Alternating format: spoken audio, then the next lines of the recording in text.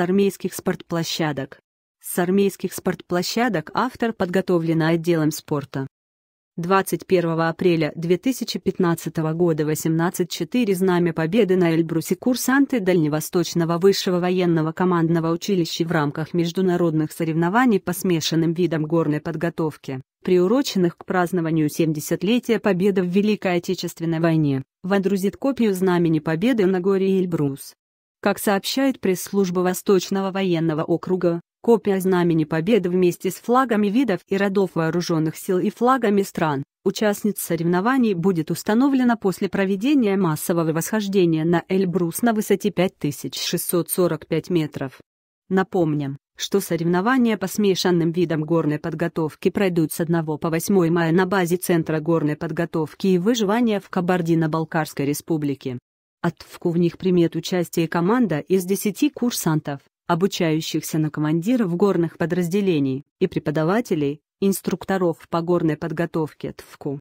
Соревнования будут включать в себя несколько дисциплин, чемпионат по ски-альпинизму и скайраннингу, соревнования по горной подготовке среди военнослужащих горных бригад и подразделений специального назначения, соревнования по скоростному восхождению и альпиняда, посвященное 70-летию Победы. Мастерство оттачивается в воздухе, в ходе учебно-методического сбора в Краснодарском крае военнослужащие сборной команды Южного военного округа, ЮВА, по парашютному спорту оттачивают свое мастерство по выполнению сложных фигур групповой акробатики. На начальном этапе подготовки спортсмены совершенствовали навыки приземления на ограниченные площадки на точность, отработали выполнение комплекса индивидуальной акробатики, состоящего из шести фигур, таких как спирали и сальто. Данный комплекс выполняется с высоты 2,2 тысячи метров. В настоящее время военнослужащие отрабатывают синхронность выполнения различных фигур групповой акробатики командами от четырех человек и более. Задача парашютистов на данном этапе заключается в том, чтобы, совершая прыжок с высоты 3000 метров, в течение 35 секунд одновременно выполнить максимальное количество фигур.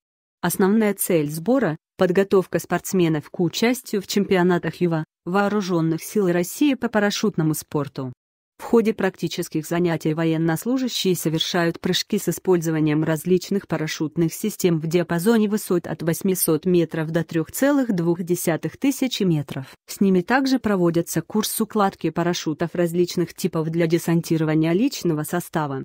Чтобы стать членом сборной команды округа, военнослужащему необходимо иметь не ниже первого спортивного разряда по парашютному спорту.